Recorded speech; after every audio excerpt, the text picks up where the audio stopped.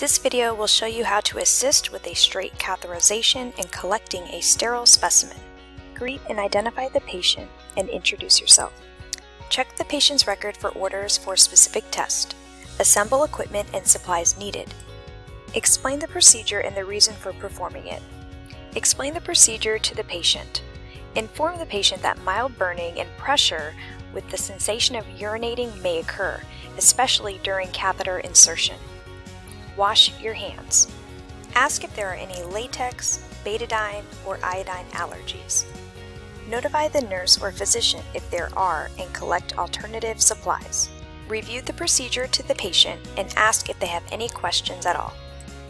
Verify the expiration date and inspect the product packaging for any tampering or damage. Replace the catheter kit if necessary. Assist the male patient into a dorsal recumbent position or the female patient into the lithotomy position. Use draping to ensure privacy for your patient. Perform hand hygiene. Apply non-sterile gloves. Gently wash the patient's genital area with body cleanser if visibly soiled. Discard gloves and wash hands. Using aseptic technique, open the kit, peeling the lid away from, not toward, your body. Place the underpad beneath the patient.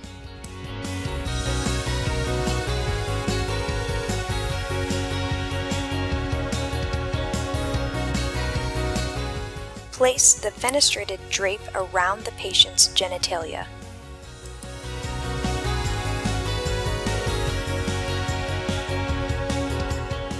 Apply sterile gloves and observe strict sterile technique for the remainder of the procedure.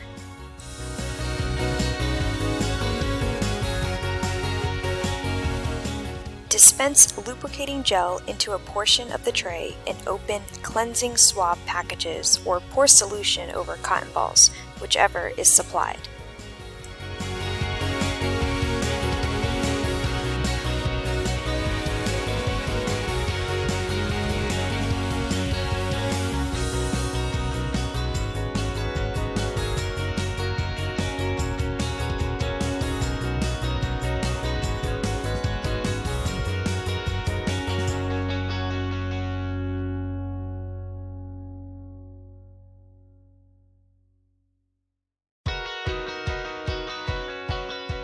Remove the plastic sleeve from the catheter and arrange on the sterile field.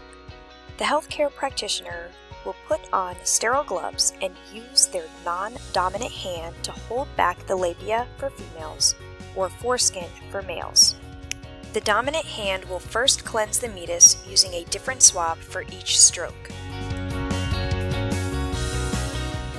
One down one side,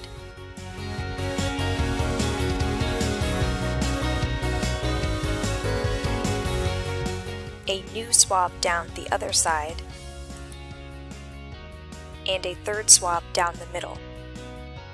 You will want to dip the tip of the catheter into the lubricating gel. You will want to be prepared to collect the urine from the other end of the catheter by holding a sterile cup beneath it. You will carefully insert the catheter into the urethra, advancing it slowly. Prepare to collect the urine from the other end of the catheter by holding a sterile cup beneath it.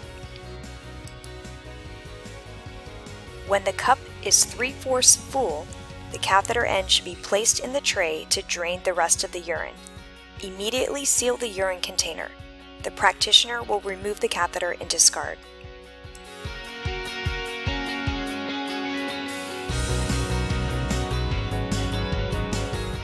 Clean the patient up.